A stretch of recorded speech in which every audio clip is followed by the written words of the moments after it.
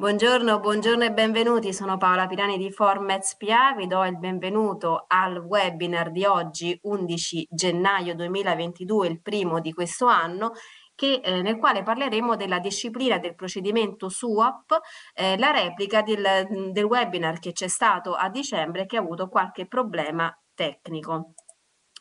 Allora, questo, questo, webinar è all'interno del progetto Azioni per il rafforzamento della capacità amministrativa degli sportelli unici per le attività produttive e per la formazione degli stakeholder.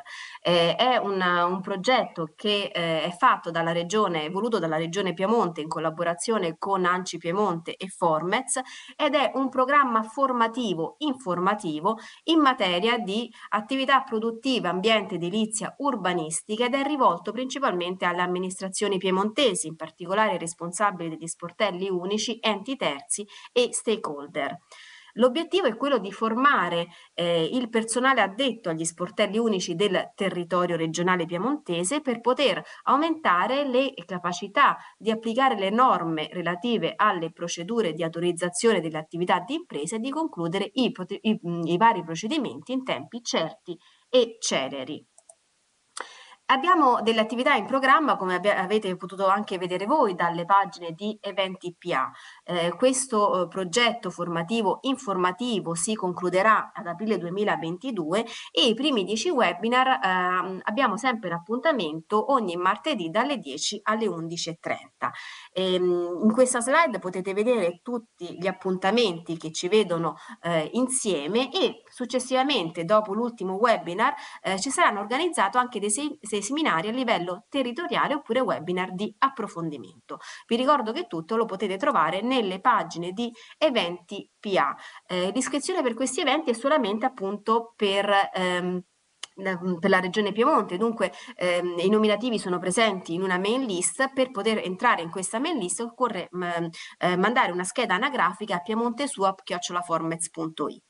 Eh, vi ricordiamo che eh, per, mh, per, avere appunto eh, il, le notizie su come iscriversi ci sono due nodi importanti su eventi PA, eh, uno è l'8236, l'altro è il 15041 nel quale eh, spiega tutte le procedure tecniche per poter fruire al meglio di questi webinar.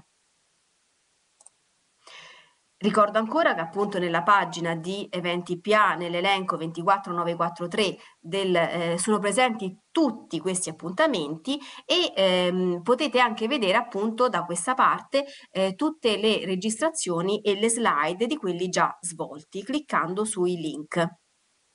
Andiamo al nostro webinar di oggi. Eh, dopo l'apertura e questa breve introduzione eh, passerò la parola al docente Riccardo Roccasalba che ehm, ci spiegherà tutta la disciplina sul procedimento SUAP eh, secondo il DPR 160-2010 per poi dare uno spazio alle vostre domande che potete scrivere nella chat. I punti di oggi saranno il funzionamento e l'organizzazione del SUAP, il procedimento ordinario e la scia condizionata e la variante urbanistica sul progetto.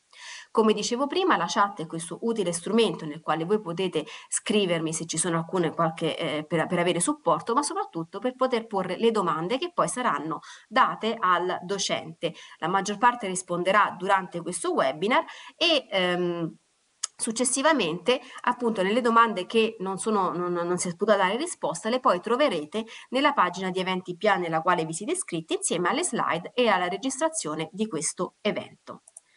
A questo punto non mi resta che augurare un uh, buon proseguimento e un buon lavoro e lascio la parola e invito Riccardo Roccasalva ad accendere la sua webcam e carico le slide. Prego.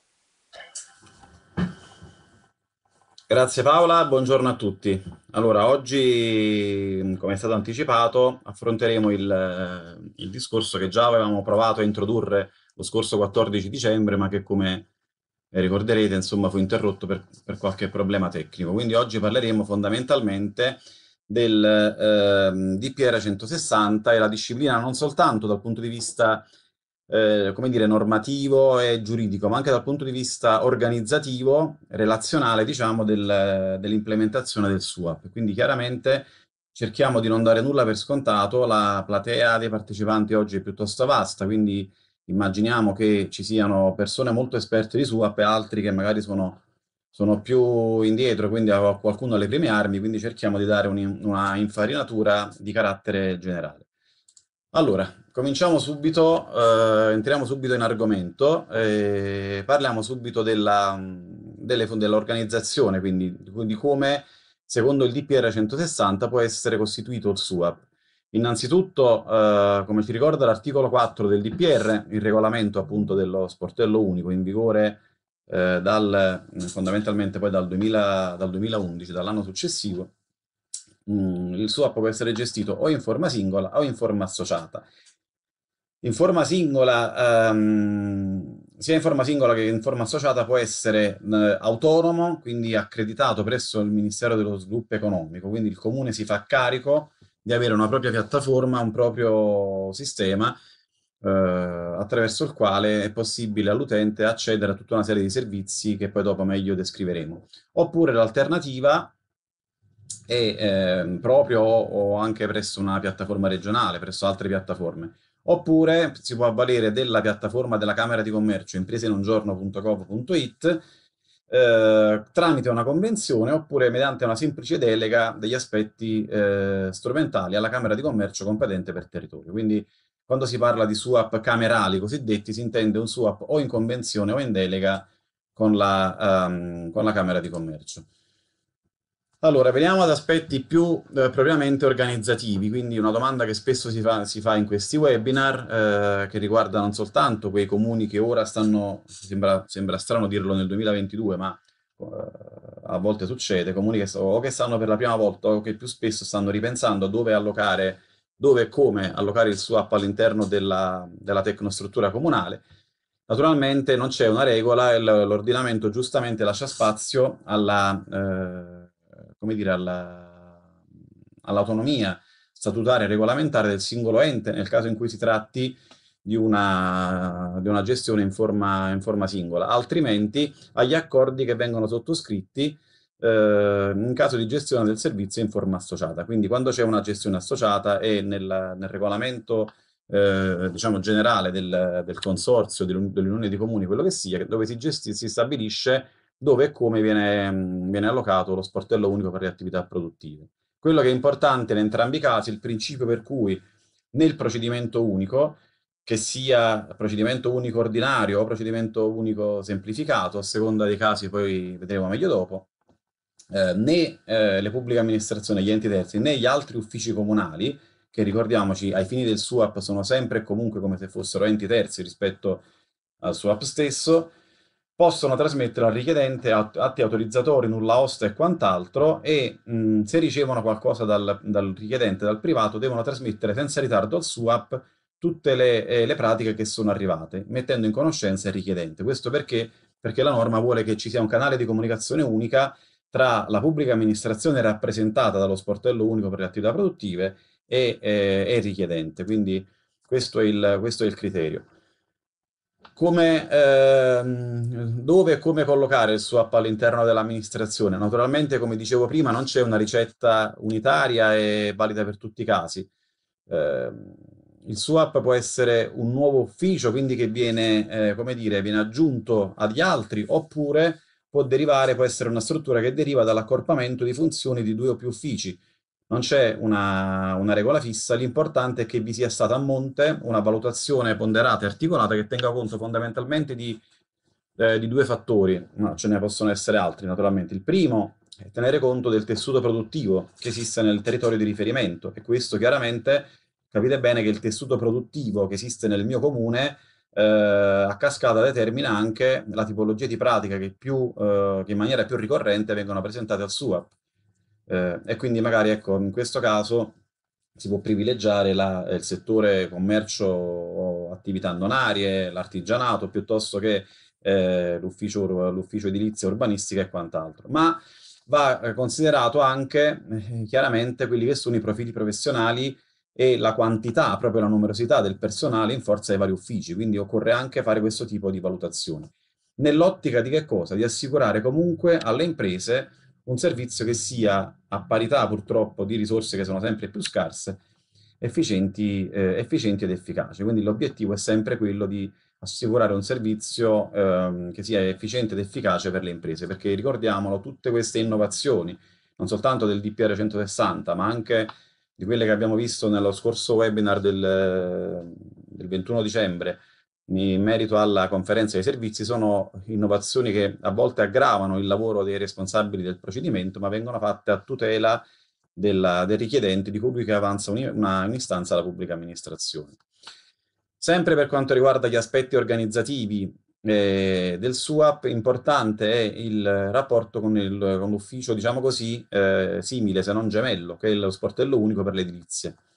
Quello che è previsto è disciplinato già dal 2001 dal, dall'articolo 5 del DPR 380, che come sapete è il testo unico delle edilizie. Allora, eh, anche qui la, il DPR 160 ci dà un'indicazione importante eh, all'articolo 4,6 dove dice salva diversa disposizione dei comuni, quindi a meno che il comune non abbia, avvalendosi della propria eh, come dire, potestà regolamentare, stabilito diversamente, eh, ripeto, salva diversa disposizione, sono attribuite al SUAP le competenze dello sportello unico per l'edilizia produttiva. Quindi quando si tratta di edilizia produttiva, comunque è il SUAP che deve alla fine eh, rilasciare il provvedimento finale al, all'interessato. Già del resto eh, il, il, il, comma 1 bis dell'articolo 5 citato del, del, DPR 380, quindi del testo unico dell'edilizia, già prevedeva, quindi anche nella normativa speciale edilizia era già previsto ed è previsto tuttora, una riserva di competenza, non una prevalenza, una riserva di competenza per lo sportello unico per le attività produttive. Resta ferma comunque la competenza dello sportello unico per le attività produttive. Quindi quando vi è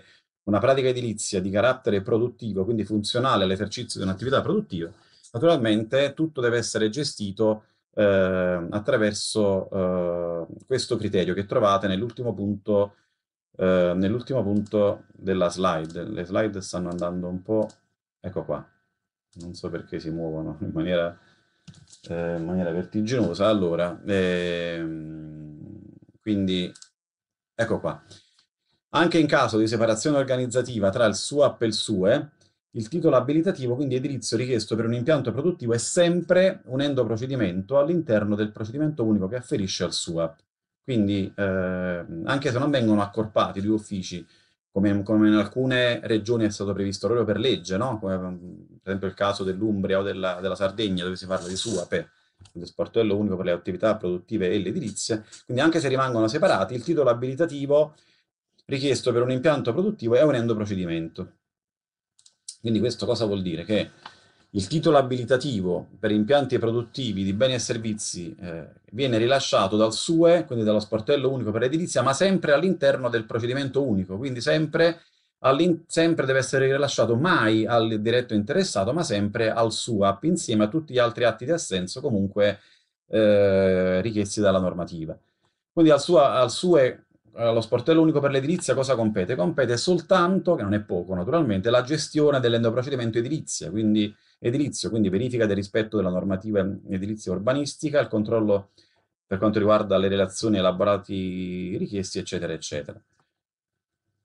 Quindi, anche se al SUE viene assegnata la competenza in materia di, di edilizia produttiva, l'interessato deve comunque presentare l'istanza al SUAP, il quale poi naturalmente si interfaccerà col SUE come, lo, come fa con qualsiasi altro ufficio comunale o come con qualsiasi altra eh, amministrazione terza.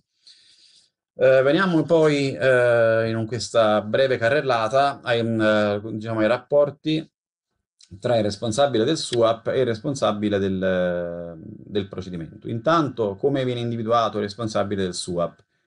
Anche qua eh, viene citato l'articolo 4,4 del regolamento, quindi del DPR 160, secondo le forme previste dagli ordinamenti interni dei singoli comuni o dagli accordi sottoscritti in caso di eh, associazione tra il personale che appartiene naturalmente ai livelli apicali della tecnostruttura dell'ente oppure ai sensi dell'articolo 110 TUEL. L'articolo 110 TUEL sapete bene che è quello che prevede eh, l'incarico dirigenziale eh, in pianta organica, comma 1, o al di fuori della dotazione organica, comma 2, ma può essere, anche, ehm, può essere dato anche nei comuni privi di eh, privi di personale dirigenziale e l'incarico ai sensi del 110 naturalmente a personale di categoria D, quindi dipende sempre poi dalla, dal livello demografico e dalla, eh, dalla struttura, eh, dalla dotazione organica presente in quel comune. Quello che è importante è che l'utente, l'interessato, nel cui interesse questa norma è stata posta, deve sempre sapere che c'è qualcuno che si farà carico della sua domanda.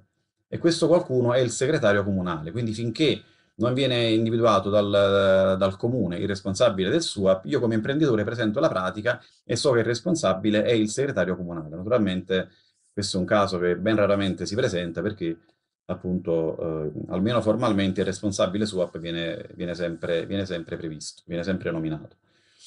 Anche nei rapporti tra il responsabile SUAP e il responsabile SUE, SUE la scelta se optare mh, per un solo responsabile eh, dei due sportelli o per due responsabili distinti, quindi responsabile SUAP da un lato e responsabile SUE dall'altro, dipende sempre dalla scelta di qui sopra, di cui abbiamo parlato prima, quindi da come si atteggia all'interno del singolo comune o della unione di comuni il rapporto tra, ehm, tra SUAP e SUE. Resta fermo in ogni caso ehm, il discorso che abbiamo fatto prima sul fatto che l'endoprocedimento edilizio opera sempre all'interno del procedimento, del, del procedimento unico. Quindi là, eh, quello che viene chiamato eh, nell'articolo, ad esempio nell'articolo 10 o nell'articolo 15 del DPR 380, il permesso di costruire naturalmente nell'ambito delle, eh, del procedimento unico è un endoprocedimento, è come se fosse un parere che viene trasmesso al, al, SUE, al SUAP, chiedo scusa, e non direttamente al privato interessato. Che cosa ci dice il, um, ci dice il, il 160, anche, ma anche la 241 per quanto riguarda le attribuzioni e le responsabilità del responsabile SUAP?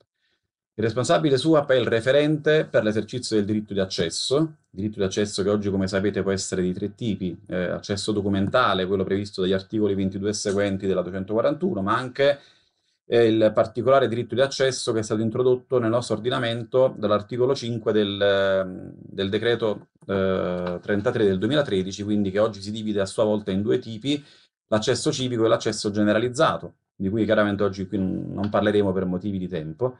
Quindi comunque il responsabile suo è referente per tutti i tipi di, tipo di diritto di accesso, anche se, anche se si riferiscono a documenti che sono, che, che sono, detenuti dal SUAP non perché sono documenti comunali, ma perché provengono da altre amministrazioni o da altri uffici comunali. Ehm, responsabile di ciascun procedimento di competenza dell'ufficio, e quindi chiaramente il responsabile del SUAP è responsabile di ciascun procedimento finché non provvede ad assegnare ad altro o ad altri dipendenti la responsabilità dell'istruttore oppure la responsabilità dell'istruttore, in alcuni casi anche la responsabilità, ad esempio, di indire e eh, convocare la conferenza di servizio di adottare il provvedimento finale. In questo senso basta leggere l'articolo 5 della legge eh, 241. Quindi finché, eh, finché non, non, vi è una delega di, di attribuzioni, che naturalmente va eh, debitamente pubblicata sul sito dell'amministrazione, oltre che sul sito del SUAP, ma anche sul, sulla, nella sezione amministrazione trasparente del sito comunale, io, io, come imprenditore devo sapere chi è il mio responsabile del procedimento. Del resto, per questo motivo, un contenuto eh, indefettibile della comunicazione d'avvio del procedimento è proprio il nominativo del responsabile del procedimento, che può essere eh, me stesso come responsabile eh, su app oppure un mio funzionario, eh, un mio collaboratore che, eh, che, però appunto deve essere la cui, la cui eh, esistenza no, il cui domicilio digitale deve essere eh, puntualmente eh, comunicato all'interessato. andiamo avanti. ecco, veniamo adesso a un aspetto, a un aspetto importante Ehm, per quanto riguarda l'utilizzo della telematica all'interno del DPR 160 del 2010. Quindi cosa dice il DPR 160 per quanto riguarda l'utilizzo della telematica? Intanto eh, all'articolo 2 c'è un principio molto importante, commi 2 e 3, le domande, le dichiarazioni, tutte le pratiche, le segnalazioni, le scia, le comunicazioni che riguardano il, il SUAP sono presentate esclusivamente in modalità telematiche. Quindi in questo senso il DPR 160 precorre quelle che sono state le recenti innovazioni apportate alla, al procedimento in generale dalla, dalla, 200, dalla, legge 241. Quindi non soltanto la pratica nasce digitale perché viene presentata al SUAP in forma digitale, ma rimane digitale perché il SUAP, comma 3 dell'articolo 2, provvede all'inoltro telematico della documentazione alle altre amministrazioni che intervengono nel procedimento, le quali adottano modalità telematiche di ricevimento e di trasmissione. Dopodiché, all'articolo 4, il SUAP assicura al richiedente una risposta telematica, telematica unica e tempestiva in luogo di tutti gli altri enti o degli altri uffici comunali eh, coinvolti nel procedimento, comprese le sovrintendenze, comprese le ASL, compresi i vigili del fuoco. Quindi quello che fanno eh, gli altri uffici comunali o gli enti terzi a valle del nostro invio non è una cosa, eh, come dire, che deve interessarci più di tanto, nel senso che noi gliele mandiamo in formato digitale, né ci possono essere chieste carte. Questo lo, lo leggiamo chiaramente anche nelle recenti riforme della 241. Poi se loro vogliono, se un, l'altro ufficio vuole stampare eh, degli elaborati, dei progetti, perché si trovano meglio a istruire il progetto, come dire, la pratica eh, sul cartaceo, è, un, è, una scelta libera, ma non, non, non deve, non può mai essere chiesto al SUAP di inviare elaborati in forma cartacea. Questo, eh, questo sia ben chiaro. Qui in queste due slide vi sono delle, eh, appunto quello che vi dicevo prima, ma ne parleremo meglio in altri webinar, quindi le innovazioni nel senso dell'utilizzo obbligatorio della telematica anche nella 241. Veniamo invece a un altro aspetto eh, importante legato al sistema dei pagamenti, sempre nel DPR 160. Eh, il comma 13 dell'articolo 4 eh, ci dice che il responsabile del SUAP pone a carico dell'interessato il pagamento delle spese e dei diritti previsti da eh, disposizioni di leggi statali e regionali vigenti, quindi quelli che sono i diritti che bisogna pagare per gli endoprocedimenti che vengono attivati vanno naturalmente eh, pagati, ehm, provvedendo alla loro riscossione e al loro trasferimento alle amministrazioni pubbliche coinvolte nel procedimento stesso. Allora, ehm, da questo punto di vista una prima eh, disciplina di come poi nel, concretamente effettuare i pagamenti e di cosa trasmettere al SUAP era stata inserita in un decreto interministeriale del 10 novembre 2011 che prevedeva eh, questo. Se i SUAP non consentono il pagamento dei diritti di istruttore in modalità telematiche, le ricevute dei pagamenti e sono allegate in modalità informatica all'istanza o alla segnalazione. Quindi tipicamente cosa avveniva, come avviene tuttora adesso in molti casi, io faccio un pagamento, il bollettino, quello che sia, faccio la scansione, l'allego e magari in formato PDF, alla pratica la trasmetto, la trasmetto al SUAP. Per la marca da bollo il medesimo decreto prevedeva che ehm, dovevano essere inseriti nella, nella, domanda, perché ricordiamoci che la marca da bollo si mette sulle domande sulle, e sui titoli autorizzatori, non sulle, non sulle scia o sulle comunicazioni, questo lo prevede la legge sul bollo, quindi una normativa fiscale non, che riguarda specificamente il SUAP, quindi nella domanda il, SUA, il soggetto prevede inserire i numeri identificativi della marca da bollo utilizzate, nonché ad annullare le stesse, conservandone gli originali. Eh, vi segnalo giusto questa, questo dato, nella, eh, nel momento in cui ci vengono indicati i numeri identificativi della marca da bollo, noi possiamo anche attraverso un, un sito apposito dell'Agenzia delle Entrate eh, verificare se quella marca da bollo sia stata già utilizzata eh, in precedenza o se, o se sia, tra virgolette, nuova. Questo per evitare utilizzi fraudolenti. Eh, meno di un anno fa, tuttavia, è entrato in vigore un nuovo sistema e più eh, moderno, naturalmente, di pagamenti che eh, era stato previsto proprio dal decreto semplificazioni, quello di cui già abbiamo parlato in maniera sintetica nello scorso webinar del 21 dicembre, il decreto 76 del 2020, ehm, e che prevedeva il 28 febbraio dello scorso anno, quindi del 2021, come termine, come termine entro il quale eh, l'EPA, quindi anche i SUAP, dovevano fare che cosa? Mm, tre cose fondamentalmente. Integrare nei propri sistemi informativi lo SPID e la CIE. Lo SPID è il sistema pubblico di identità digitale, quello che tutti utilizziamo anche come cittadini per entrare nel, per profilarci nei, nei siti della pubblica amministrazione, e la carta di identità elettronica come unico sistema di identificazione per l'accesso ai servizi digitali. E anche, naturalmente qui non c'è, ma vale anche la CNS, la Carta Nazionale dei Servizi, quella rilasciata dal, dal, sistema camerale. Non solo, ma per quanto riguarda i, i pagamenti, integrare anche la piattaforma PagoPA nei, nei propri sistemi di incasso, quindi dal, 20, dal 28 febbraio scorso questo è obbligatorio, e poi ehm, avviare, eh, questo è più complesso, naturalmente i progetti, quindi avviare, non necessariamente eh, completare, avviare i progetti tras mh, di trasformazione digitale necessari per rendere possibili i propri servizi anche sull'app IO. Sapete che l'app IO è quell'app che è stata sviluppata di recente, che serve per interfacciarsi con tutta una serie di pubbliche amministrazioni, tra cui anche per esempio l'ACI per pagare il bollo dell'auto, eccetera, eccetera. Ecco, eh, teoricamente anche eh, sull'API l'utente, in questo caso l'imprenditore, dovrebbe trovare anche la possibilità di interfacciarsi con l'APA. Eh, questi obblighi sono ricordati, sono elencati e sono meglio specificati anche in una circolare di cui vi ho indicato il link eh, del, 3, del 9 febbraio scorso del Ministero dell'Interno. Quindi che cosa succede per i SUAP? Quindi dal 28 febbraio scorso anche i SUAP autonomi, eh, quindi quelli che si sono accreditati presso il Ministero dello Sviluppo Economico, devono integrare nei propri sistemi informativi eh, non soltanto eh, lo SPID, la carta di identità elettronica, come sistema unico di identificarsi, quindi per potermi io profilare, per poter, potermi io loggare, come oggi si dice, al sito del SUAP, devo utilizzare o la SPID o la carta di identità elettronica o la CNS. Ma non solo, la piattaforma Pago PA eh, deve essere utilizzato come sistema di, eh, nei sistemi di incasso per, per, riscuotere le entrate. Quindi che cosa succede? Che le vecchie credenziali che eh, noi eventualmente avevamo oh, previsto e rilasciato per l'accesso, per la profilazione, quindi per, per l'autenticazione ai nostri sistemi, eh, dovevano essere valide fino alla uh, scadenza e comunque non oltre il 30 settembre 2021. Poi, se chiaramente anche dopo questa scadenza eh, si è ritenuto utile e opportuno mantenere il, le vecchie credenziali, questo eh, naturalmente è una cosa che compete a ognuno di voi, però questo è quello che prevede la norma. Quindi dal 30 settembre dello scorso anno eh, occorre autenticarsi ai nostri siti esclusivamente attraverso la SPID, la carta di identità elettronica o la carta nazionale dei servizi.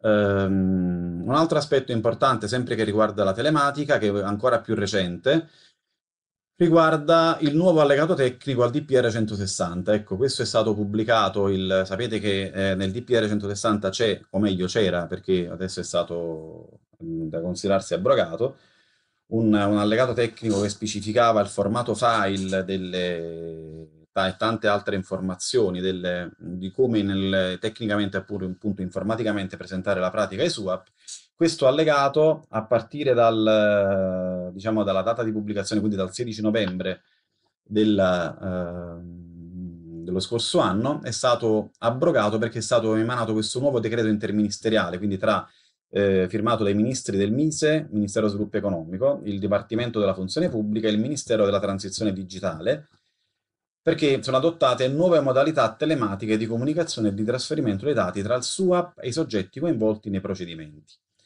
Eh, e quindi questo allegato sostituisce dal 16 novembre l'allegato tecnico DPR 160 e questo è importante che questo, eh, rilevare che questo intervento è uno, delle, dire, uno degli interventi eh, previsti e finanziati dal, dal PNRR, che è un, appunto c'è un'apposita un missione, della missione 1 appunto del PNRR, che fa capo come gestione al Dipartimento della Funzione Pubblica. Ed è importante perché c'è una cospicua dotazione finanziaria che è 324 milioni di euro. Qual è l'obiettivo di, uh, di questa, missione 1? Semplificare o ridefinire eh, entro il 2026 circa 600, uh, circa 600 procedimenti. Uh, che cosa prevede questo, um, questo nuovo allegato tecnico? Non prevede direttamente le specifiche tecniche, perché le nuove specifiche tecniche di come presentare la pratica dal punto di vista informatico ai SUAP verranno stabilite da un successivo decreto ehm, che va emanato entro otto mesi, quindi fondamentalmente entro il 10 luglio prossimo, 10 luglio 2022, da parte degli stessi eh, ministri, quindi il eh, Ministero dello Sviluppo Economico, il Dipartimento della Funzione Pubblica e il Ministero della Transizione Digitale, previa intesa con la conferenza unificata, appunto adotteranno questo decreto che eh, dovrà approvare le specifiche tecniche.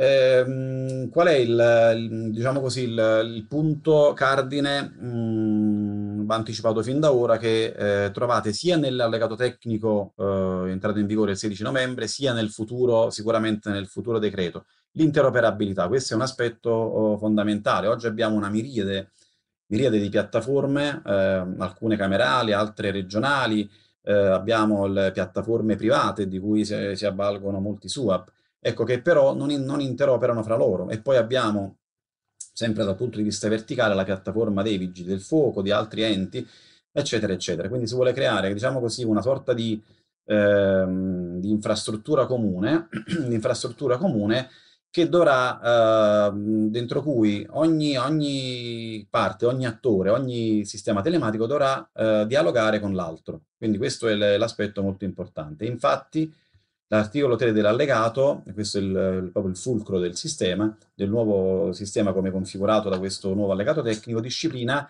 il sistema informatico degli sportelli unici che che è l'insieme dei sistemi informatici non soltanto dei, dei, vari SUAP, ma anche degli enti terzi che dovranno essere conformi alle specifiche tecniche di qui sopra. Quindi tutti i sistemi informatici, non soltanto del SUAP, ma anche dei vigili del fuoco, delle sovrintendenze, ove mai ce ne fossero, del, della regione, della provincia città metropolitana, di tutti gli enti che in qualche modo si interfacciano con i SUAP, devono avere dei sistemi che si interfacciano con le specifiche tecniche che si inter dovranno interfacciarsi con le specifiche tecniche che verranno emanate entro il 10 luglio del, del 2022.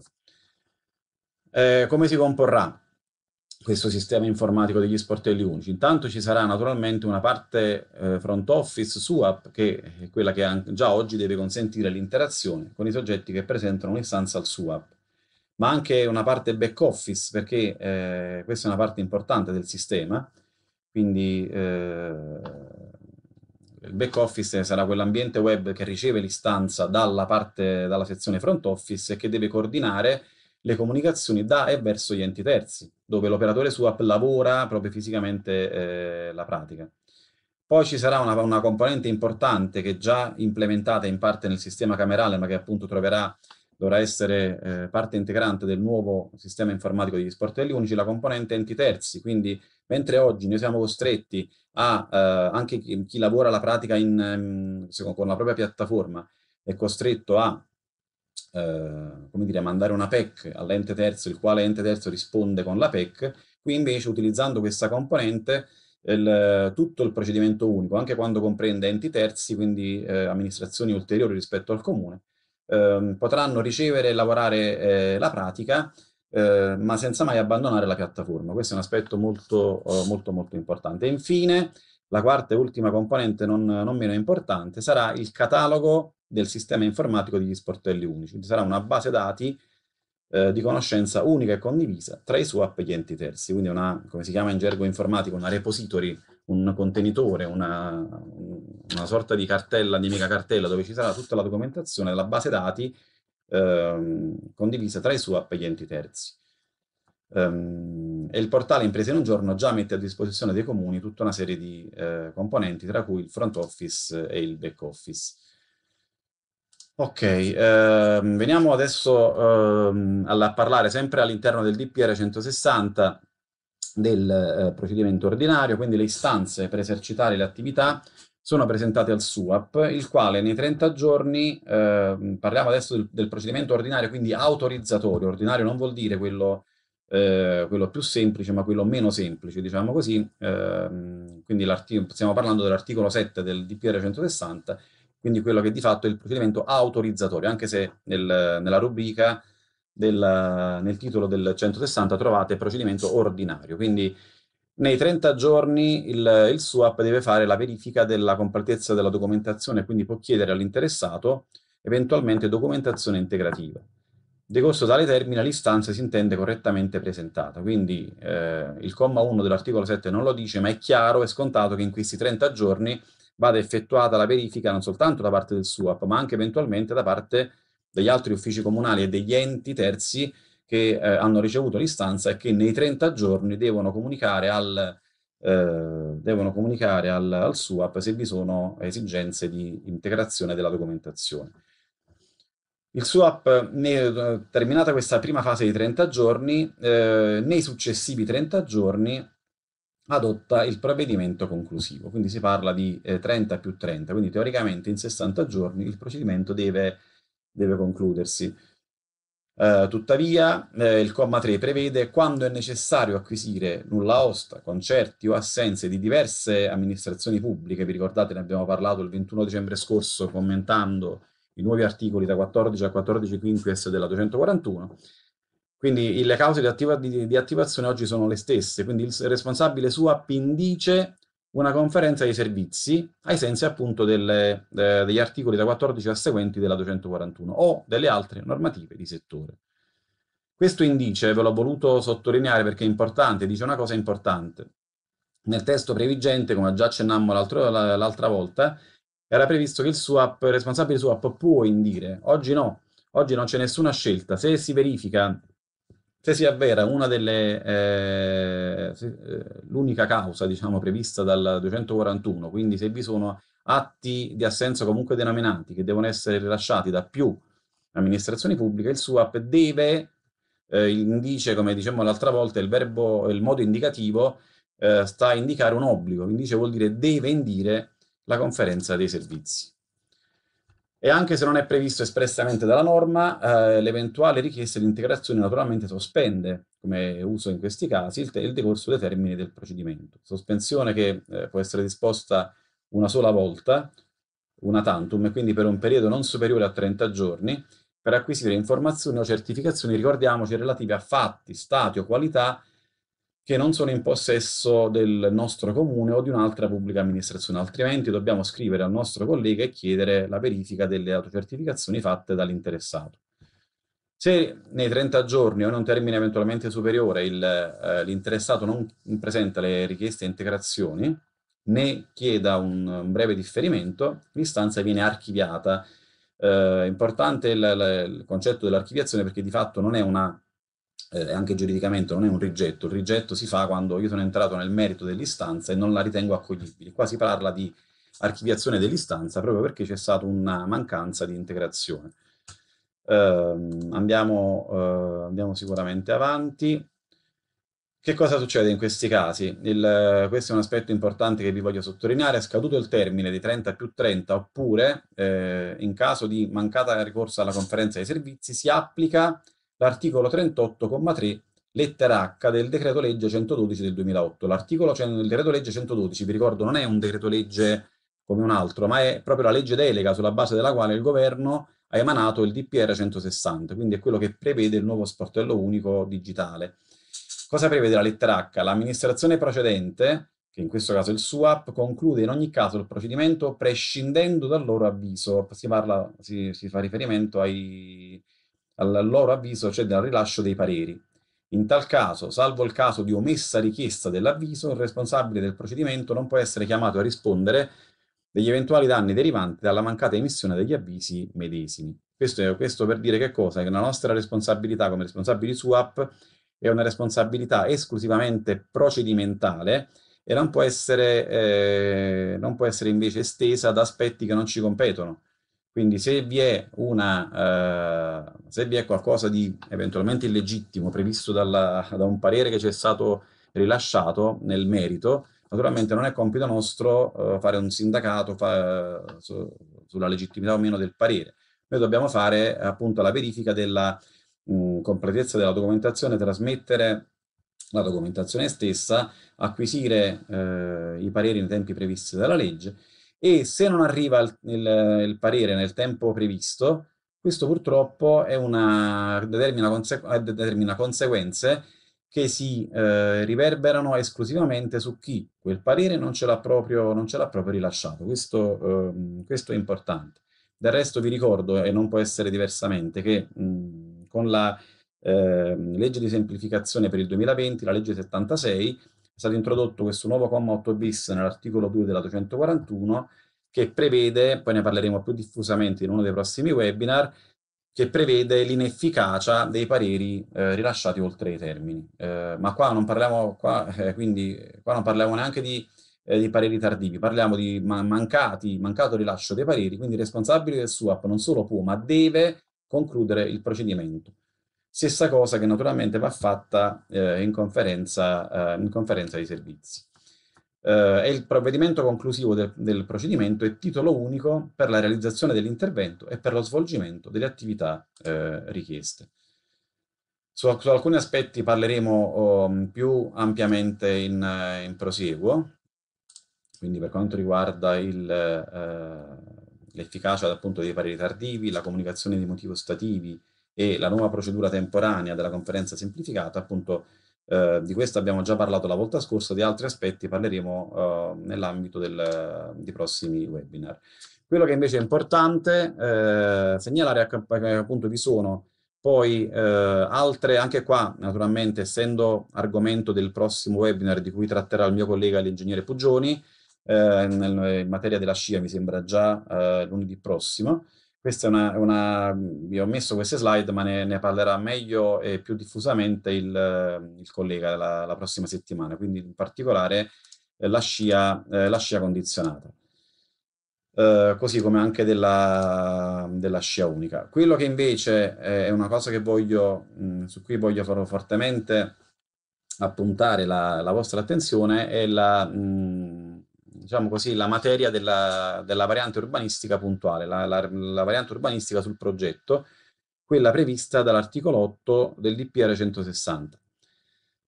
Uh, qual è il... Um, qual è il discorso, uh, discorso, da fare? Qua stiamo parlando di una variante urbanistica non di area vasta, ma una variante urbanistica chiesta dall'imprenditore per, con, per uh, consentire l'esercizio di una determinata attività.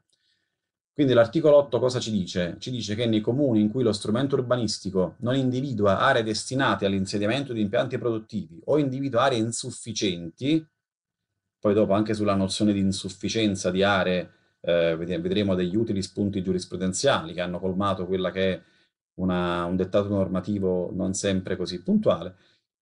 Fatta salva l'applicazione del, della, della, relativa disciplina eh, regionale, e voi avete una disciplina regionale che tra poco subito commenteremo, l'interessato può chiedere al responsabile del SUAP di convocare la conferenza dei servizi, sempre a norma ai sensi degli articoli da 14 a 14 quinquies della 241, in seduta pubblica.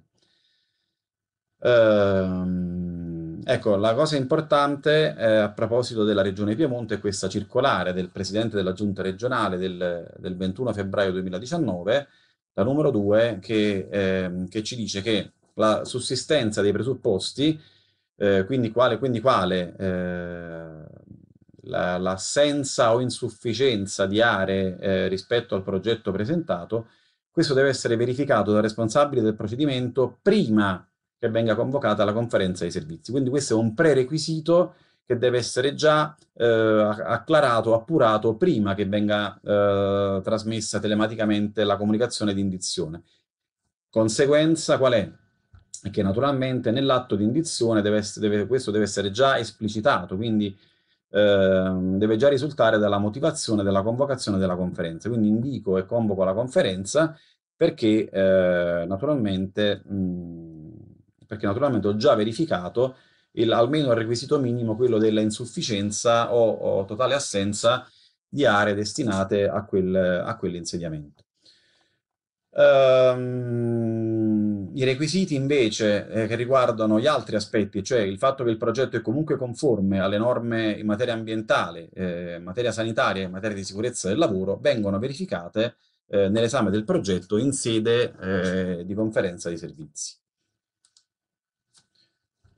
Allora, ehm, che cosa prevede poi l'articolo 8? Ehm, qualora l'esito della conferenza di servizi comporta la, la, variazione dello strumento urbanistico, quindi se eh, la conferenza si è chiusa con esito favorevole e a patto naturalmente che sussista l'assenso della regione espresso in quella sede, il verbale viene trasmesso al sindaco o al presidente del consiglio comunale, ove esistente, che lo sottopone alla votazione del consiglio nella prima seduta utile eh, un altro aspetto importante da notare qua qual è?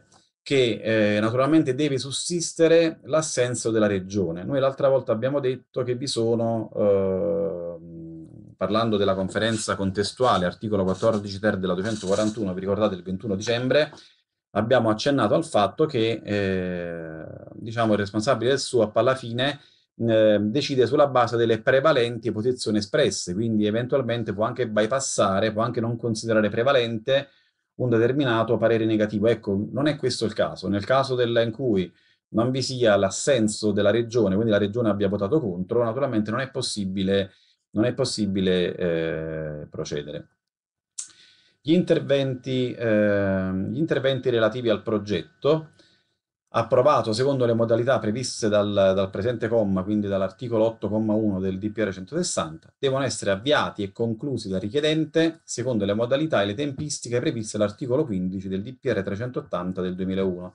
Vi ricordo che l'articolo 15 del DPR 380 del 2001 è quello che stabilisce che il, ehm, quello che stabilisce ehm, che il progetto, eh, quindi il cantiere una volta aperto deve essere, eh, cioè deve essere aperto entro un anno dal rilascio del permesso di costruire, salvo proroghe, e deve essere concluso, i lavori devono essere conclusi entro tre anni dall'apertura del, dall'inizio dei lavori, eh, salvo anche qua eh, richiesta motivata di proroghe. Quindi ehm, una volta esaurito il procedimento di variante, si segue la normale tempistica prevista dall'articolo 15 del DPR 380 del 2001. Anche qua, naturalmente, eh, sull'aspetto proprio della conferenza dei servizi una, eh, ci sono delle norme regionali importanti che dobbiamo sempre considerare, quindi nel caso della variante urbanistica puntuale c'è l'articolo 17 bis della legge regionale 56 del 77, che prevede che l'interessato chiede al, al responsabile SUAP di convocare la conferenza dei servizi, ma deve contestualmente alla richiesta presentare che cosa? Il progetto delle attività che si vogliono insediare, completo della proposta di variante urbanistica, che deve comprendere, se necessario, gli elaborati di natura ambientale, secondo questo procedimento. Allora, il responsabile SUAP, verificata la completezza degli atti ricevuti e verificata che, sia, che la proposta sia tecnicamente procedibile, convoca eh, la conferenza di servizi. Che cosa vuol dire tecnicamente procedibile? Vuol dire che siano stati eh, precedentemente eh, espletate delle attività eh, quali ad esempio la verifica di assoggettabilità a VAS che poi subito vedremo. Quindi verificato questa, eh, questi aspetti di procedibilità tecnica, il, il responsabile SUAP convoca la conferenza dei servizi in seduta pubblica ai sensi degli articoli da 14 a 14 quinquies della 241 e delle altre norme di settore.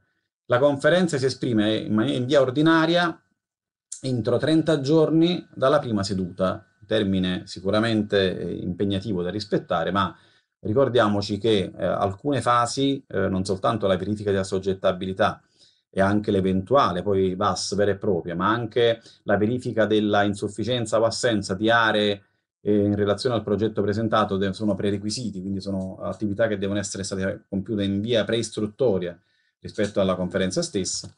Comunque la conferenza deve chiudersi entro, in via ordinaria entro 30 giorni. Chi partecipa alla conferenza dei servizi, partecipa il, il, comune o i comuni interessati se il progetto investe dal punto di vista territoriale più comuni, la provincia o città metropolitana di Torino naturalmente, la regione, la quale si esprime tramite il proprio rappresentante unico. Partecipano chiaramente anche tutti gli altri enti, tutti gli altri soggetti, che possono anche non essere enti, ma soggetti ad esempio oltre al, al privato, possono esservi eh, società abbiamo parlato l'altra volta, se ricordate, eh, società preposte alla, alla, gestione di servizi di beni pubblici, quali quelle concessionarie, dei servizi di, eh, di rete, di, il, che gestiscono i servizi di rete, che gestiscono il, la distribuzione del gas, dell'acqua e quant'altro.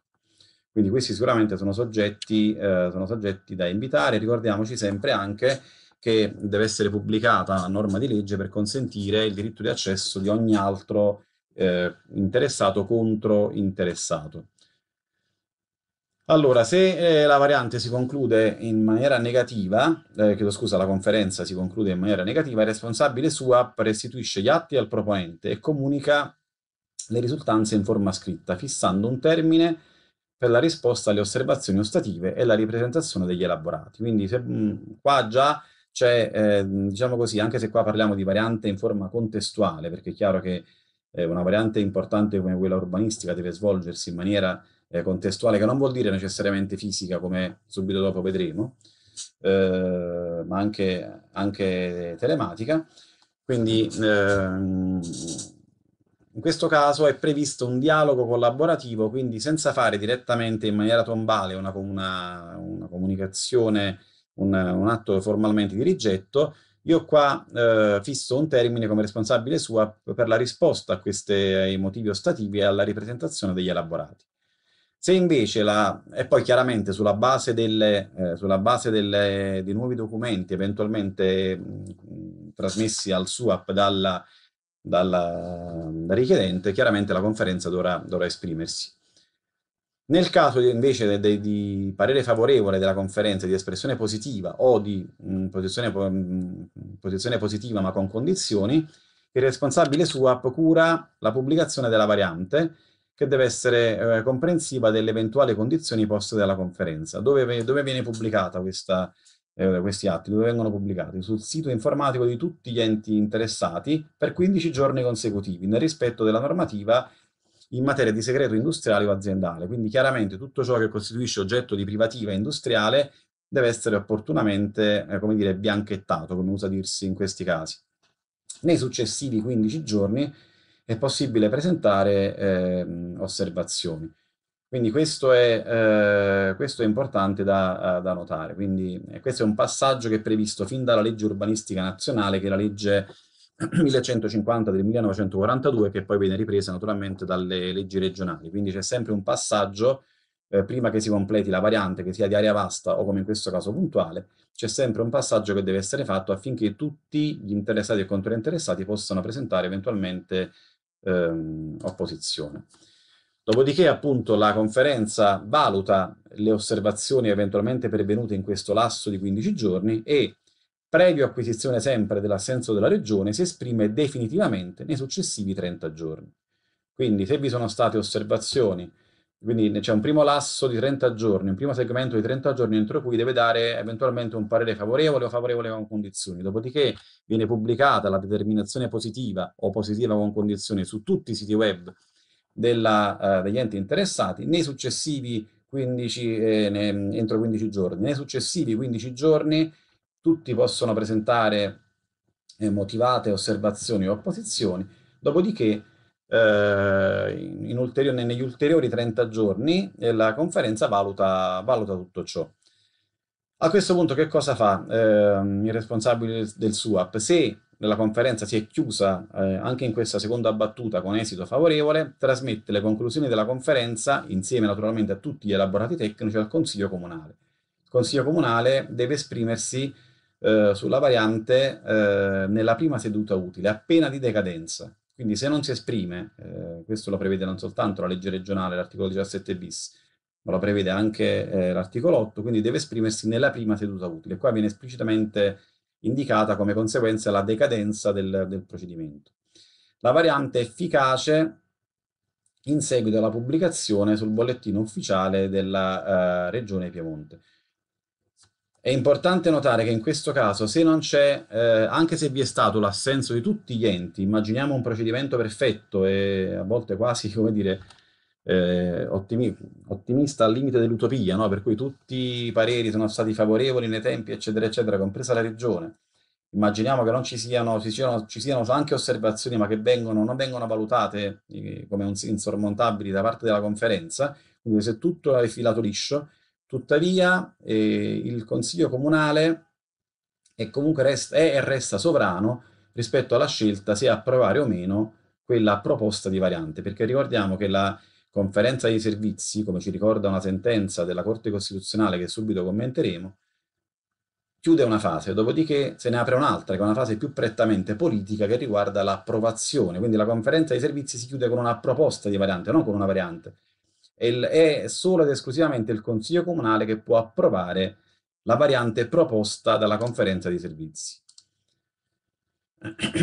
Eh, sempre per quanto riguarda la, uh, la, legge regionale, la 56 del 77, l'articolo 17 bis, ci ricorda che sono vincolanti, anche se minoritari, all'interno delle conferenze, in questo caso della conferenza di variante puntuale, i pareri espressi dalla regione, con riferimento a che cosa?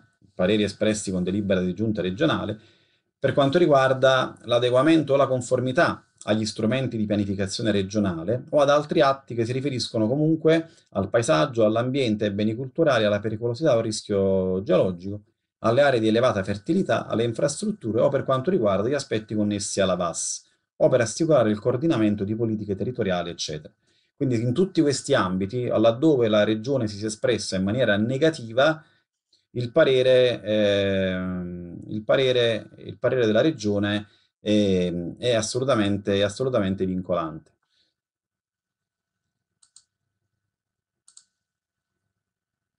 Naturalmente, ehm, questo lo prevede già la legge regionale, ma eh, la legge nazionale, ma opportunamente la regione Piemonte lo, lo ricorda, le varianti sono, come tutte le varianti, comprese quelle, eh, le varianti puntuali sul progetto, sono soggette alla verifica preventiva di assoggettabilità al processo di VAS. La VAS è la valutazione ambientale strategica che va fatta appunto nei casi di variante. Nel caso in cui è prevista, il cui procedimento è disciplinato poi anche nel dettaglio dalla, a livello nazionale dal, dal Codice dell'Ambiente, il decreto legislativo 152 del 2006. Nel caso in cui il piano regolatore generale oggetto di variante è stato sottoposto alla VAS, okay, la, la, verifica di assoggettabilità, quindi è già stato assoggettato al VAS, la verifica di assoggettabilità e l'eventuale VAS sono limitate soltanto a quegli aspetti che non sono stati già oggetto di precedente valutazione, per evitare appunto una doppia eh, verifica su stessi aspetti, sugli stessi aspetti.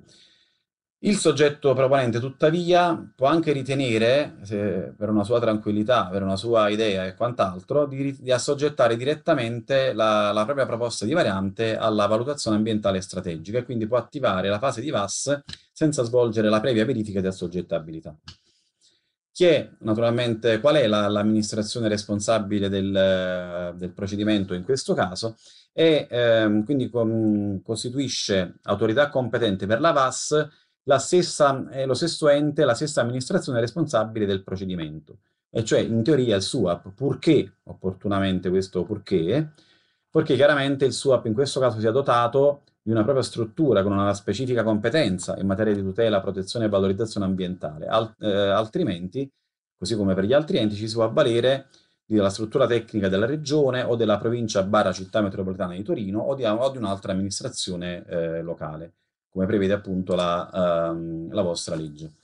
Tornando alla circolare eh, invece regionale, la circolare del 2 febbraio 2019, la numero 2, eh, opportunamente, eh, possiamo dire oggi leggendo questa disposizione in controluce no, rispetto all'emergenza pandemica che stiamo vivendo, a maggior ragione oggi è consigliabile, come ci ricorda la circolare, consigliabile appunto svolgere le conferenze in modalità telematica, quindi eh, fermo restando che si tratta di conferenze da svolgere in forma contestuale, non, eh, non semplificata, tuttavia si possono tranquillamente svolgere in modalità, eh, in modalità telematica.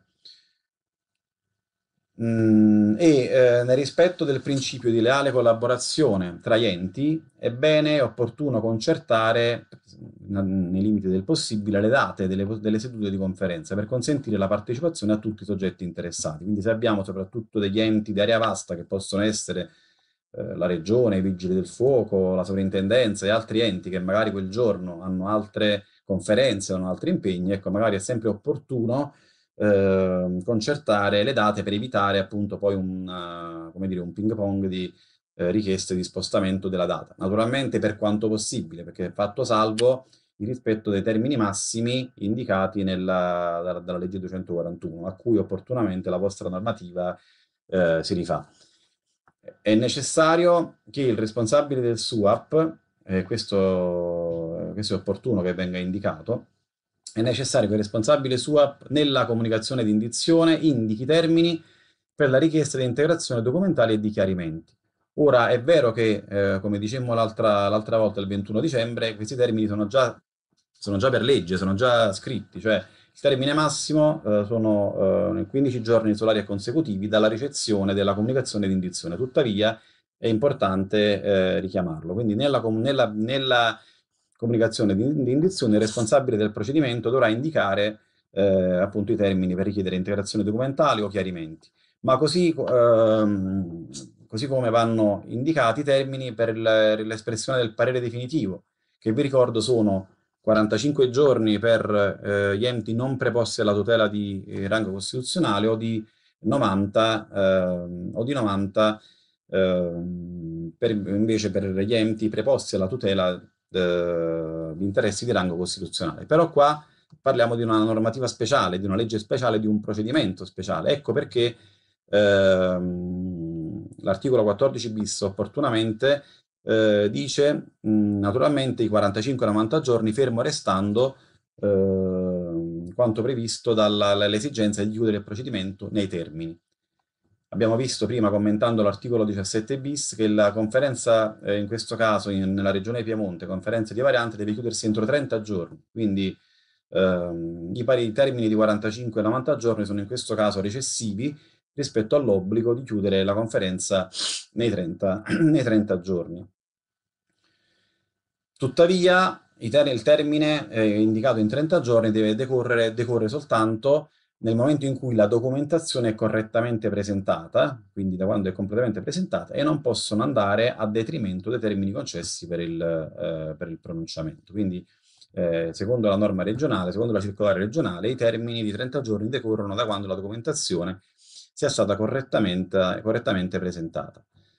Uh, per quanto riguarda poi l'integrazione uh, tra l'inconferenza tra il procedimento di variante e il procedimento di VAS, quindi di valutazione ambientale e strategica, ci si, ci si, uh, si rimanda alla DGR, quella del, um, del, 29 febbraio 2016, quindi di cui chiaramente non, per brevità qui non, non parleremo. Aspetti importanti, tuttavia, sono relativi alla Ecco, una breve, una breve, giusto tre slide di rassegna giurisprudenziale mi era sembrato opportuno inserirla perché che riguarda sia il Consiglio di Stato che TAR, ma anche la Corte Costituzionale, perché appunto nella eh, formulazione un po', eh, come dire, veloce dell'articolo 8, poi chiaramente la giurisprudenza in questi anni, in questi primi 11 anni, diciamo così, di eh, applicazione dell'articolo 8, ha, ha dato una serie di statuizioni molto molto importanti. Infatti la sezione quarta del Consiglio di Stato in questa sentenza 27 del 2016 eh, ci ricorda questa sezione ha sempre sottolineato in modo rigoroso il carattere eccezionale e derogatorio della procedura eh, disciplinata dal ricordato articolo 5. Qua la sentenza fa riferimento all'articolo 5 perché al tempo in cui fu proposto il ricorso, che poi, sapete, dati i tempi della giustizia italiana purtroppo, il ricorso era stato fatto in vigenza della vecchia normativa dello sportello unico, che era il vecchio DPR 447 del 98, chi di voi lavora da un po' di anni al SUAP forse se lo ricorderà, dove era l'articolo 5 che dice, e non, non c'era l'articolo 8, ma l'articolo 5 che disciplinava il, la, il, procedimento di variante urbanistica sul progetto. Quindi eh, non può essere trasformata la variante puntuale, dice il Consiglio di Stato, surrettiziamente, quindi in maniera quasi nascosta, in una modalità ordinaria di variazione dello strumento urbanistico generale. Quindi devono essere preventivamente accertati in modo oggettivo e rigoroso i presupposti richiesti dalla norma. Quindi quali sono fondament fondamentalmente questi requisiti? Quelli che vi ricordate secondo la, ehm, la normativa regionale del Piemonte devono essere verificati prima dell'indizione della convocazione di cui va dato atto nell'atto di indizione. Sono l'assenza nello strumento urbanistico di aree destinate a insediamenti produttivi, oppure l'insufficienza di questa. Cosa si intende per insufficienza? Si intende in costanza degli standard previsti una superficie non congrua e quindi insufficiente in ordine all'insediamento da realizzare. Quindi, quindi dati, dati gli standard previsti dal, dallo strumento urbanistico vigente, la superficie non è congrua rispetto a quello che io voglio, voglio andare a realizzare come imprenditore. In questi casi, eh, la, ci ricorda la, la, stessa sentenza, è chiaro che il presupposto di fatto, quindi la, il presupposto fattuale costituito dall'assenza o insufficienza di aree a destinazione specifica o coerente con il progetto, deve essere intesa in che senso? Nel senso che eh, occorre verificare la disponibilità non soltanto delle cosiddette zone D, quelle che secondo il, ehm, il decreto del 1444 mm, del 1968 è proprio la zona tipicamente destinata alle attività produttive, ma anche, dice il Consiglio di Stato, ad altre aree che potrebbero essere utili comunque per, la, per un progetto di carattere imprenditoriale, quali sicuramente le zone C, le cosiddette zone di espansione. Quindi anche se eh, anche aree con destinazione commerciale, anche se non in via esclusiva, possono essere considerate. Quindi questo sempre nell'ottica di considerare la variante come uno strumento eccezionale. Quindi, dice il Consiglio di Stato, non basta dare atto che non ci sono zone D sufficienti eh, alla congrue rispetto al progetto presentato nel nostro strumento urbanistico, ma che non ci siano in generale altre aree, come per esempio anche le, le aree mh, di zona C.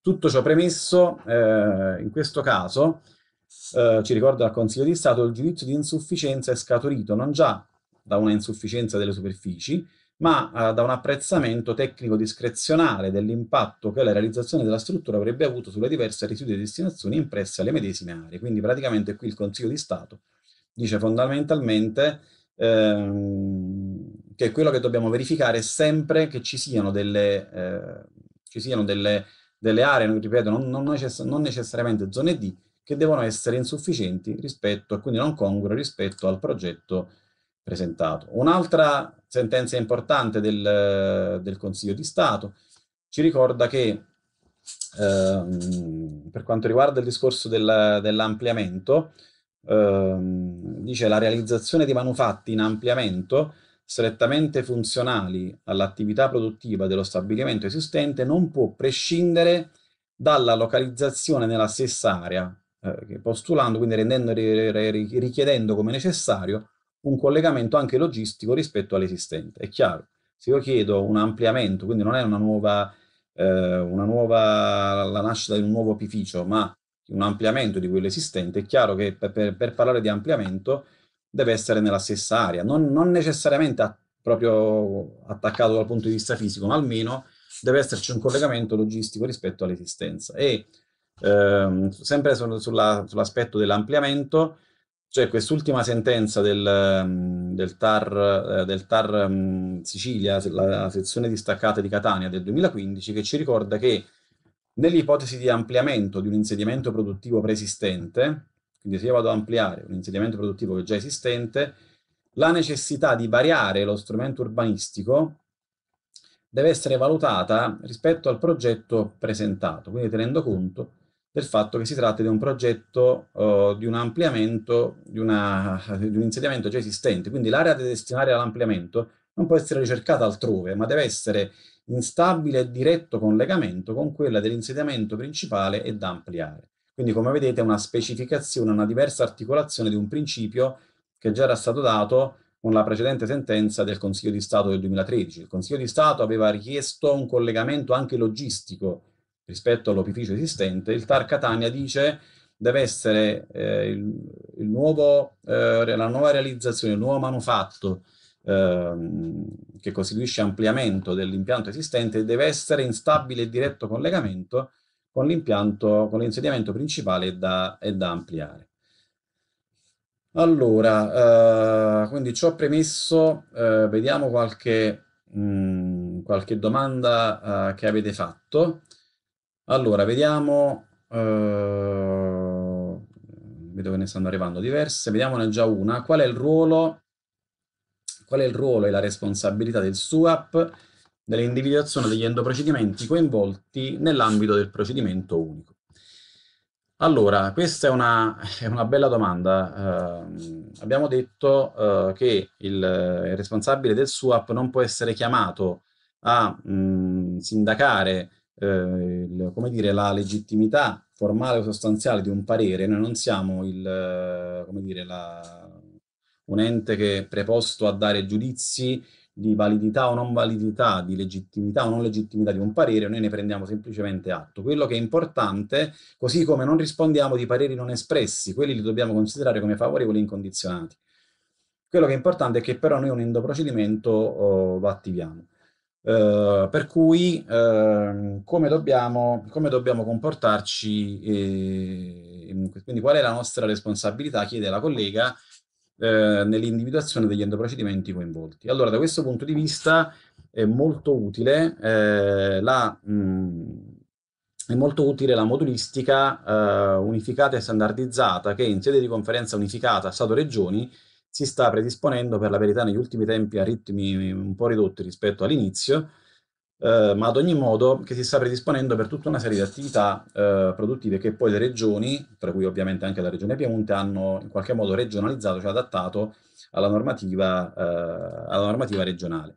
Perché dico questo? Perché nella, nella modulistica unificata e standardizzata sia nelle, nelle, nella parte iniziale, quindi nelle dichiarazioni che fa eh, il privato, ma sia soprattutto nell'elenco della documentazione da allegare, è contenuta tutta una serie di, ehm, sono contenute tutta una serie di informazioni che mettono il eh, responsabile del, SUAP sulla strada giusta per capire quali sono appunto questi endoprocedimenti. Sono dichiarazioni che fa, che fa, il, che fa il privato.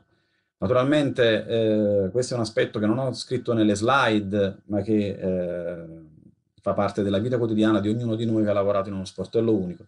È chiaro che all'inizio, quando nelle, nelle, prime, nelle prime settimane, nei primi mesi che ci si trova catapultati allo sportello unico, magari dopo aver lavorato per anni o per decenni addirittura in tutt'altro settore, c'è un po' di spaesamento. Tuttavia, eh, con il tempo, diciamo, le, eh, le cose si, eh, si, imparano e quindi un minimo di infarinatura su, che sono, su quelli che sono gli endoprocedimenti da adottare, naturalmente eh, si acquisisce. Però, ripeto, mh, per molti dei, dei procedimenti più complessi basta pensare al modello unico previsto, che ne so, per, eh, per la grande distribuzione di vendita, oppure il modello unico previsto per i permessi di costruire. Lì ci sono delle, delle aree dove è l'interessato e per esso sicuramente il suo tecnico, l'intermediario che ci presenta la domanda, che ci deve indicare quali sono gli eh, endoprocedimenti da attivare. È chiaro che io posso essere talmente bravo ed esperto che mi accorgo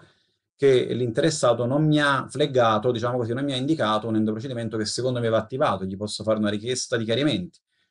Ma altrimenti io posso, eh, naturalmente prenderò per buona quelle che sono le, eh, le indicazioni provenienti dal, dall'interessato le trasmetterò al, um, ai colleghi degli altri uffici degli altri enti. Ho fatto l'esempio del permesso di costruire, trasferirò in questo caso la domanda di permesso di costruire alla, con, i, con, gli allegati previsti, dalla, previsti, dal procedimento al mio collega dello sportello unico per l'edilizia, il quale naturalmente potrà, eh, tra, sicuramente dovrà indicarmi quali sono, eh, quali sono gli endoprocedimenti che secondo lui non, non, sono stati, eh, non sono stati presi in considerazione. Dopodiché, naturalmente, c'è sempre, ripeto, la responsabilità primaria del tecnico che ha presentato, che ha presentato la pratica. Allora, ehm, vediamo un'altra domanda. Ehm, allora, come si può collegare una pratica SUAP di autorizzazione con una scia in alternativa al permesso di costruire?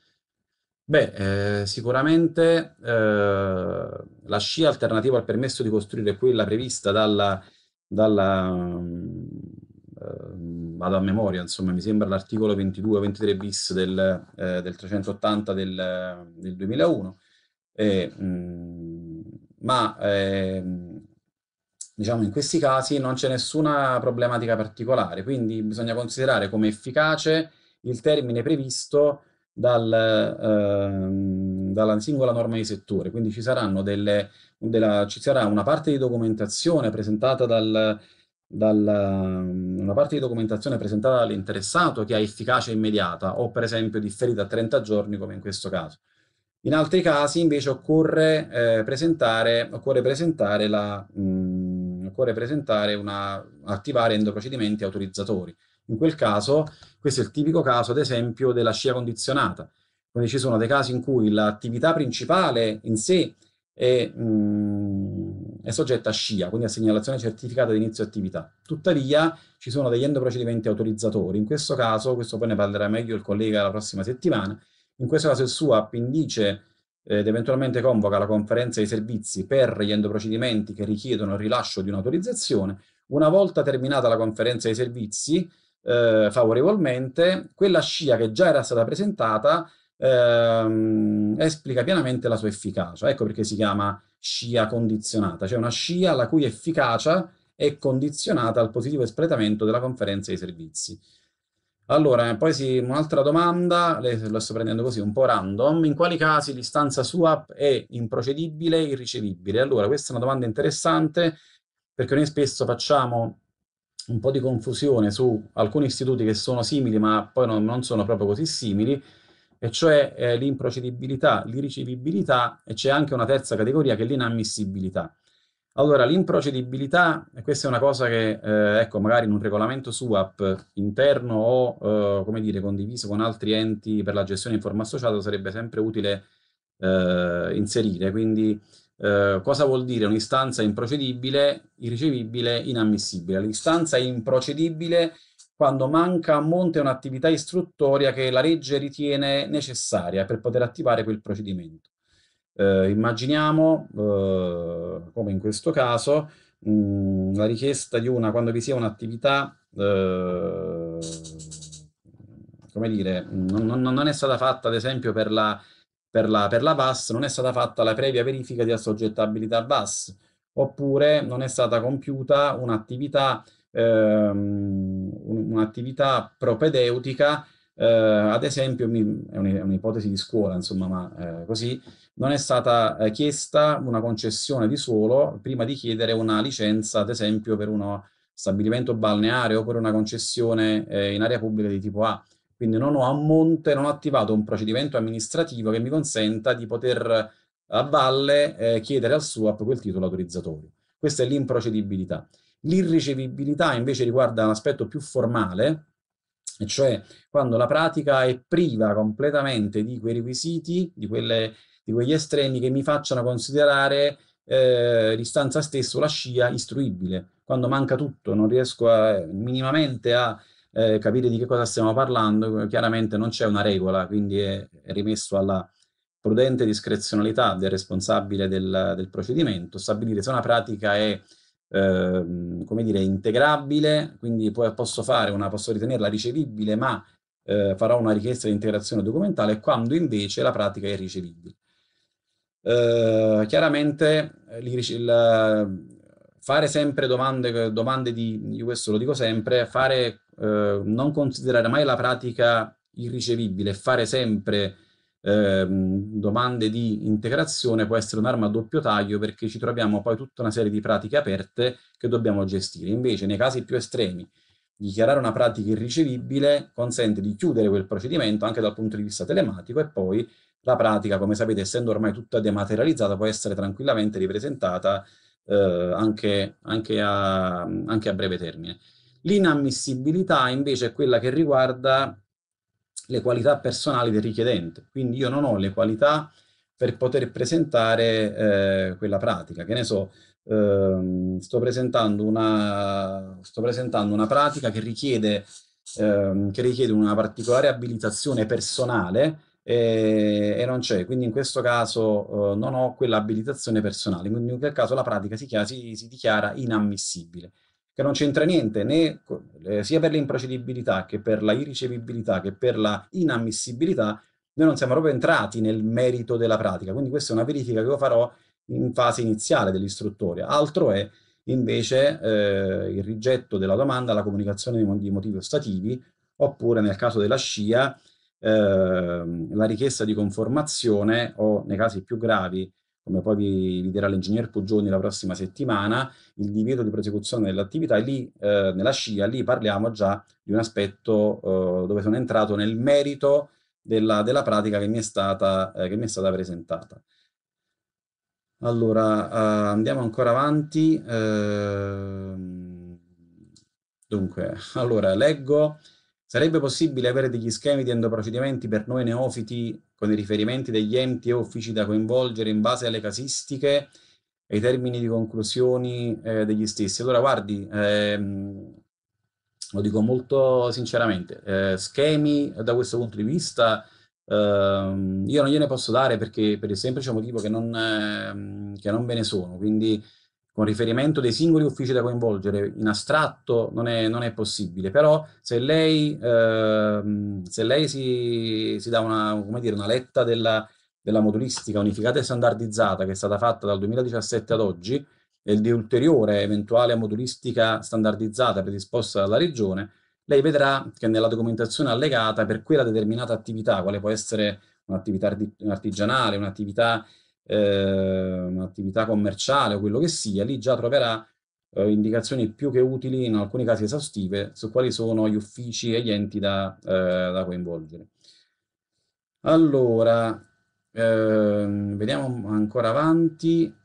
Allora, mh, mm, vediamo un poco. Uh, scusate un attimo. Allora.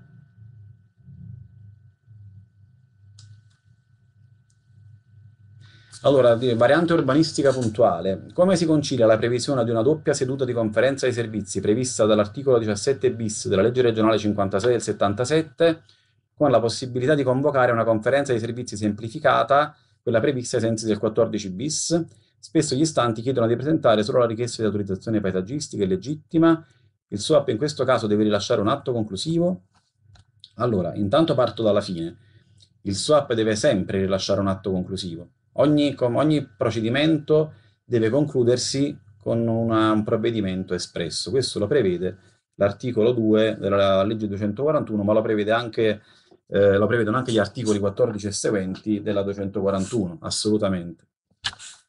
Quindi l'atto conclusivo ci vuole sempre.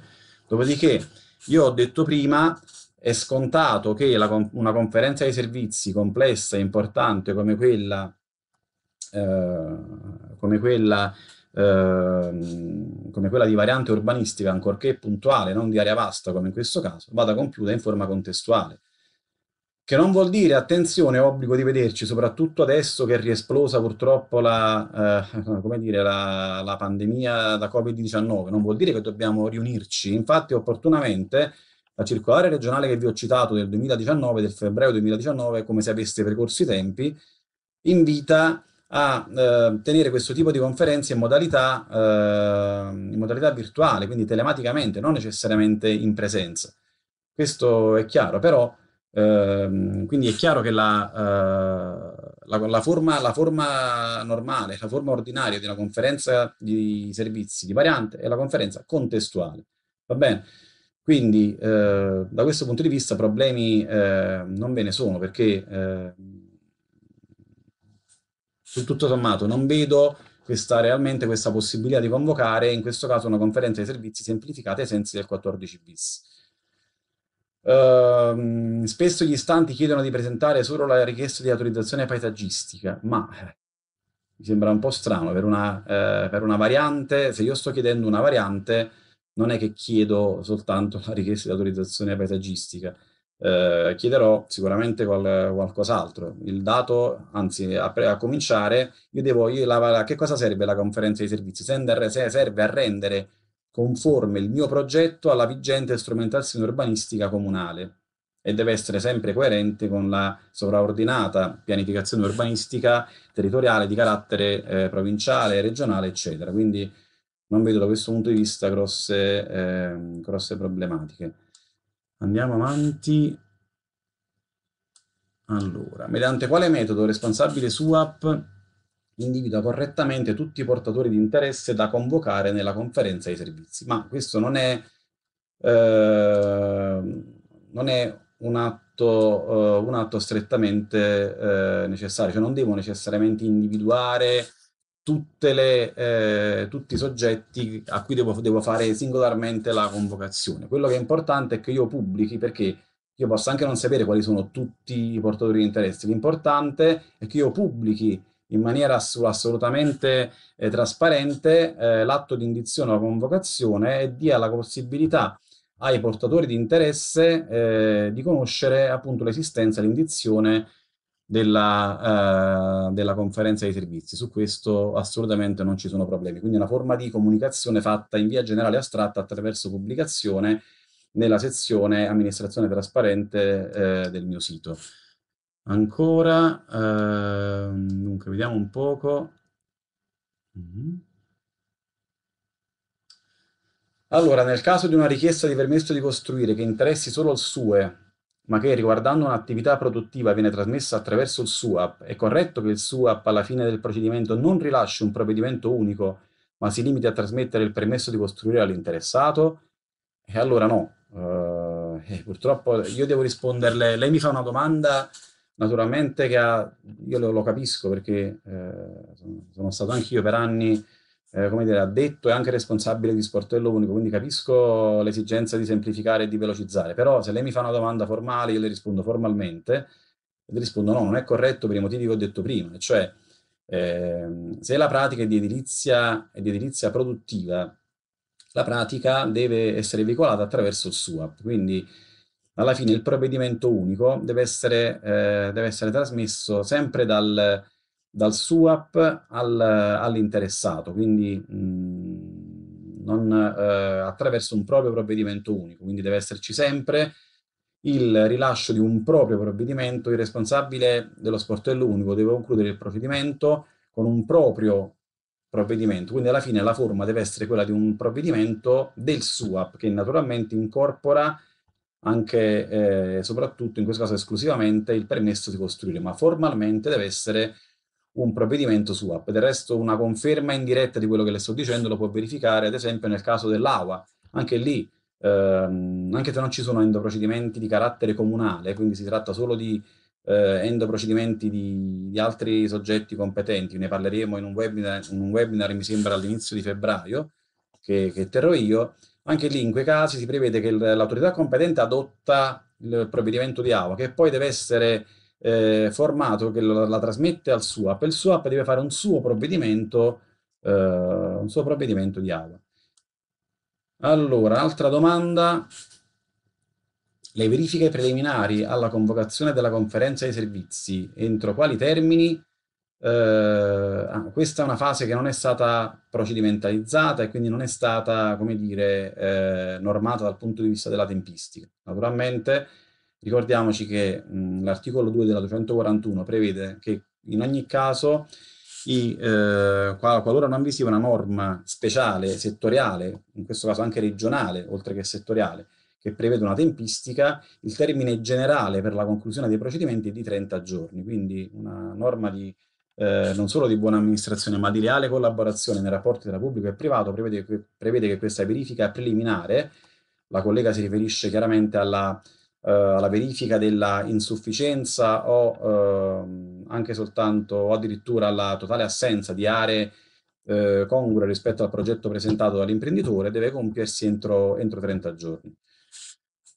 Ancora, vediamo qualche altra domanda prima di finire. Ah, chiaramente vi, eh, come è stato già detto prima dalla, dalla collega, da Paola Pirani, io eh, risponderò, a cioè, risponderò, a tutte le domande che mi avete fatto per iscritto e mm, lo troverete sulla pagina web di Eventi PA. Io adesso sto rispondendo giusto a qualcuna, ma poi a tutte non vi preoccupate, darò una risposta che troverete nei prossimi giorni sul, sul sito di Eventi PA. Allora, vediamo un attimo. Variante, se vi è il parere favorevole regionale, ma una delibera comunale che invece è contraria, cosa prevale? E eh, guardi quello che le ho detto prima, come, come ho esposto, e cioè eh, in questi casi è assolutamente tassativo il fatto che eh, anche se vi è il parere favorevole della regione, quello conclude, quello contribuisce a concludere positivamente un procedimento, che è il procedimento di conferenza dei servizi finalizzato ad adottare una proposta di variante quindi viene adottata una proposta di variante. Poi ci si apre, come ha ricordato la Corte Costituzionale con una sentenza di qualche anno fa, che ha dichiarato in questo incostituzionale una legge della Regione Lombardia, si apre successivamente un nuovo procedimento che è di carattere più prettamente politico e non tecnico, che è quello dell'approvazione della variante. In questo il, eh, il Consiglio Comunale è sovrano. Il Consiglio Comunale può addirittura, come abbiamo visto prima, nella, uh, nella vostra normativa regionale, può addirittura, non, eh, può addirittura decidere di non, di non, decidere, può semplicemente nella prima seduta utile non, prendere, non decidere sulla variante, in questo caso l'intero procedimento decade. Ecco perché alcuni, eh, alcuni comuni, alcune regioni hanno in qualche modo cercato di aggirare il problema cercando di acquisire a, val, chiedo scusa, a monte di tutto il procedimento un qualche input politico eh, da parte di, che ne so, in alcuni casi giunta comunale, in altri casi commissione consigliare competente l'urbanistica, eccetera, per avere se non altro un, come dire, un sentore di quale sia il gradimento di questa proposta da parte della politica eh, del comune. Perché guardate, questa non è una indebita commistione tra politica e gestione. Noi nei nostri webinar, leggendo le leggi, sappiamo, diciamo sempre, la politica deve rimanere fuori dalla gestione, io sono il primo a dirlo. Ma attenzione, qua non è un procedimento eh, tecnico, eh, come dire, autorizzatorio a 360 gradi, qua è un procedimento tipicamente misto. La, la, la variante urbanistica, la pianificazione urbanistica è qualcosa che comincia tecnicamente, ma si conclude sempre e comunque con una valutazione di carattere politico quindi è giusto che vi sia da questo punto di vista eh, la condivisione della, eh, della, politica e quindi in questo caso della maggioranza del Consiglio Comunale, la quale se non trova, se non trova la quadra non, eh, quindi non, c'è il consenso e purtroppo noi possiamo fare la, eh, come, dire, come dicevo prima, possiamo porre in essere la più perfetta conferenza dei servizi, ma quella rimarrà tale, non, non avrà esito perché il procedimento si considererà decaduto. Uh, dunque, andiamo ancora avanti. Allora, eh, si può consultare il decreto legislativo? Ah sì, giustamente la collega ricorda sicuramente che il, la tabella A legata al, al decreto SCIA 2, cioè 222, eh, dà un'utile indicazione, questo lo, lo, dicevo a quel collega che eh, umilmente si definiva neofita, ma qua siamo un po' tutti neofiti perché la norma cambia di continuo e quindi veramente siamo tutti neofiti. Um, il 222 è quella tabella uh, del 2016, il cosiddetto decreto SCIA 2 è quello che mh, prevede tutta una serie di endoprocedimenti che vanno, che vanno attivati. Naturalmente anche lì non è che trovate proprio una casistica del tutto esaustiva, ma sicuramente quella, quella è la base, è la base di tutto. Uh, io Paola vedo che è scoccato il gong, uh, zero con eh, il campo rosso, quindi a questo punto uh, vi saluto e vi ricordo che risponderò a tutti i pareri per iscritto nei prossimi giorni e ci rivediamo a breve. Grazie. Grazie, grazie Riccardo, grazie a tutti voi per aver eh, partecipato. Allora vi ricordo che nella pagina di eventi PIA nella quale vi siete iscritti troverete a breve la registrazione, le slide e poi tra qualche giorno anche la risposta a tutte le vostre domande. Grazie ancora e ci vediamo il 18. Ricordo a tutti di iscrivervi ad ogni evento. Grazie ancora a tutti e buon proseguimento. Grazie.